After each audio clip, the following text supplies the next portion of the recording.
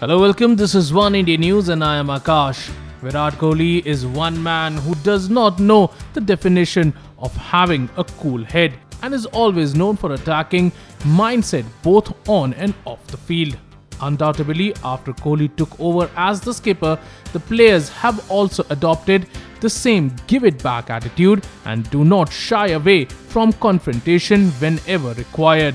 However, there is an interesting twist in this angle in the form of Cheteshwar Pujara who gives it back to the skipper himself when it comes to playing tennis and table tennis.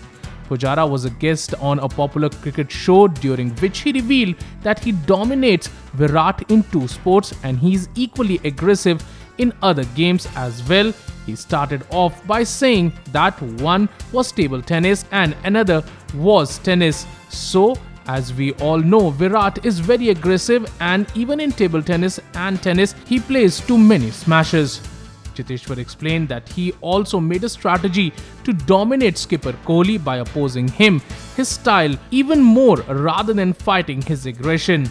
Pujara continued, saying that I knew how to win the game against him. I just roll it back to him and I'll just keep playing slow balls against him and I make sure the ball pitches on the other court. Similar to his style while batting in Test cricket, he just never lets the opposition bowlers to get on his head.